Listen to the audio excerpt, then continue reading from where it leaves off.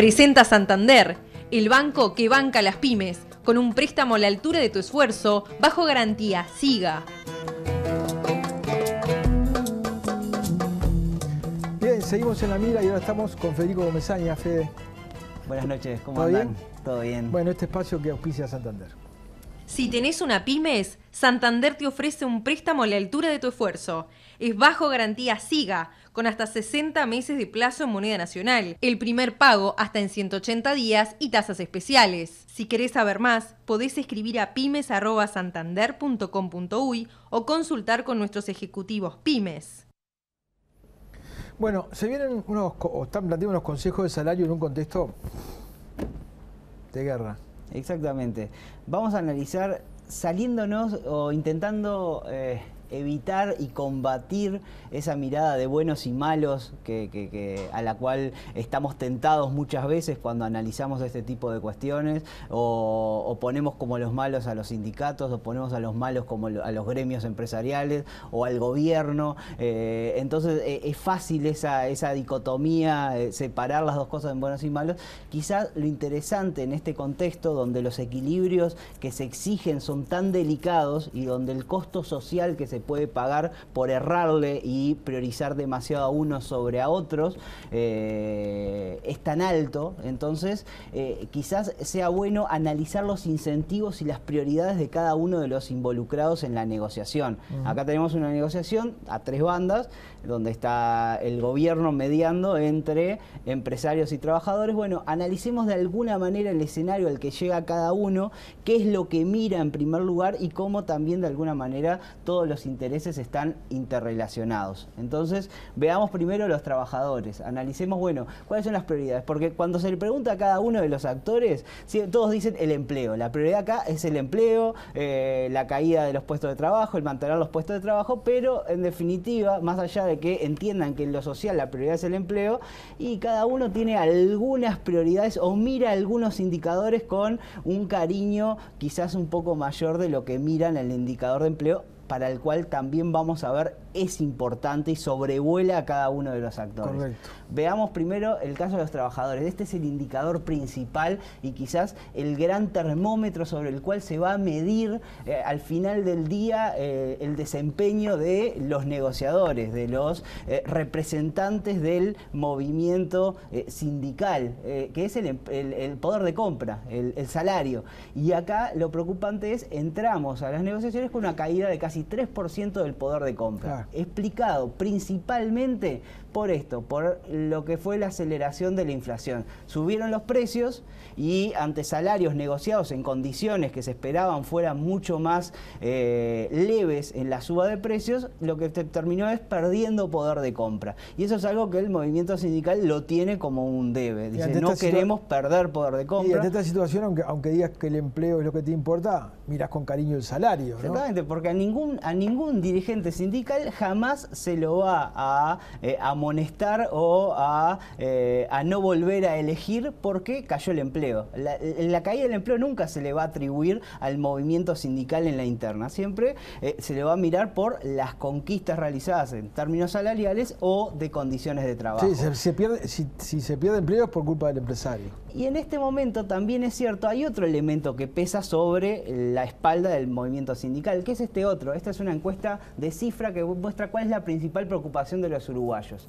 Y el primer, la primera preocupación es el desempleo. Entonces la desocupación son 31% de los encuestados hablan de eso. Y no se trata de los que perdieron el empleo, se trata fundamentalmente de los que tienen trabajo y están día a día pensando, "Pua, ¿hasta cuándo? O si esto termina, voy a ser el próximo yo en, en quedar en seguro de paro. Eh, este mes me toca a mí.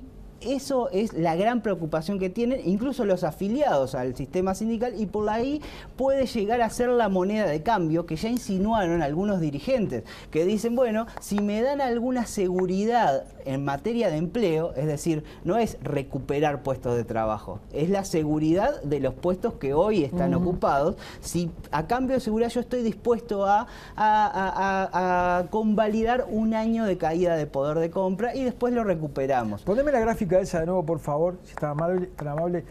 Mirá el primero, ¿no? Y mirá el último, ¿cuál es? Exactamente. ¿Tendrá, tendrá algo que ver eso con el primero, Exactamente, eso es uno de los grandes, que siempre hablamos, uno de los grandes riesgos de la pandemia es todavía seguir tirando para atrás en la lista de prioridades un tema fundamental como es la educación. Quizás si tuviéramos mejor Y la pobreza y la indigencia no, no, no, no ¿Y la seguridad dónde quedó? Ah, mirá que estábamos todos preocupados por el renunciado Bonomi, mirá dónde quedó, en el cuarto lugar. Y, y quizás si tuviéramos mejor este, educación, capaz que teníamos empleos de mejor calidad, ¿no? Exactamente. Bueno, gracias. Y empleos con menos riesgo de perderse a causa de, eh, esta situación. Vayamos a los empresarios y veamos un poco qué es lo que están mirando los empresarios. Es cierto, la caída del empleo nunca es agradable para un empresario, implica a la vez eh, una caída de la actividad de su empresa.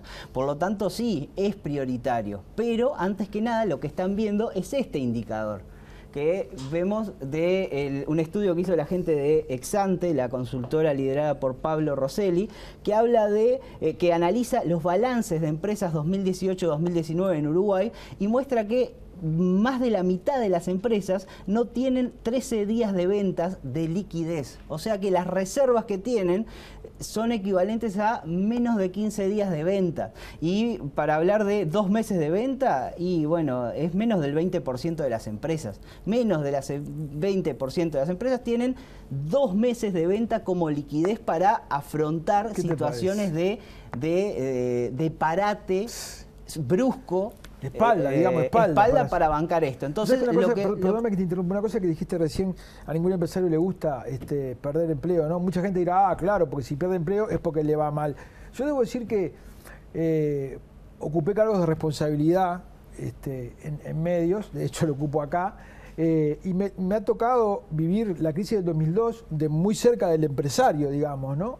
tener que vivir esos momentos feos y Quizá tuve suerte, pero no, conocí, nunca trabajé con un empresario que no sufriera la pérdida del empleo desde una perspectiva humana también. No, no porque bien, bien me va mal.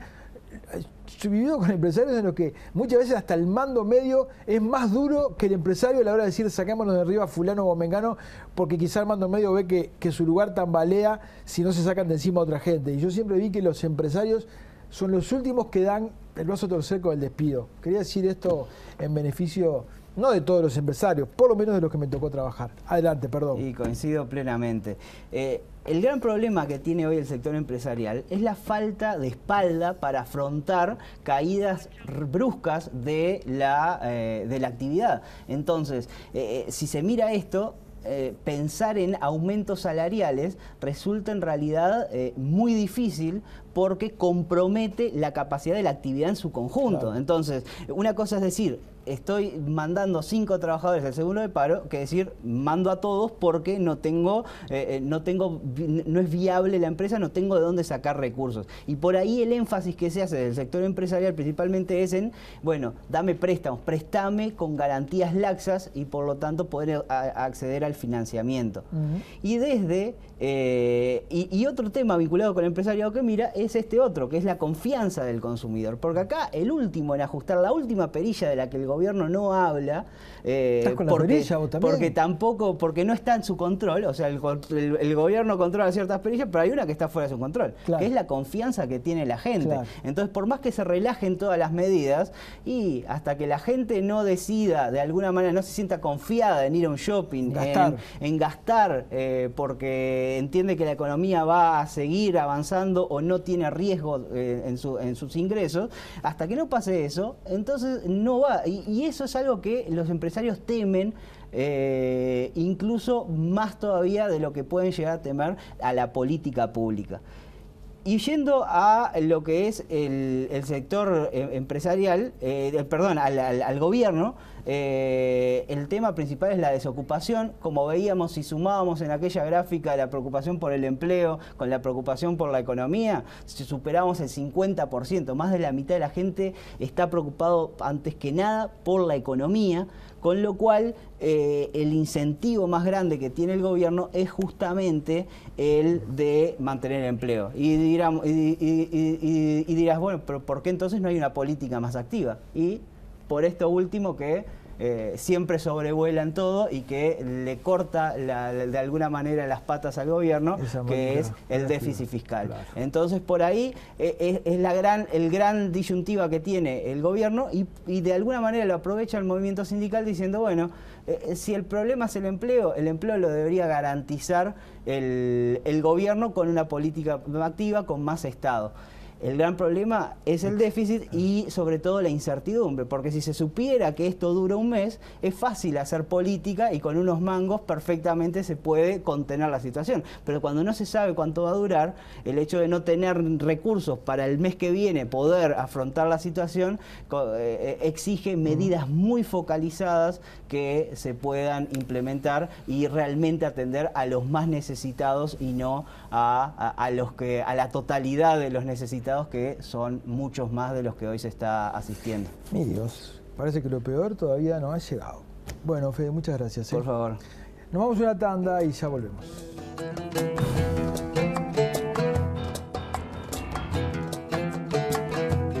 Presentó Santander, el banco que banca las pymes, con un préstamo a la altura de tu esfuerzo, bajo garantía. Siga.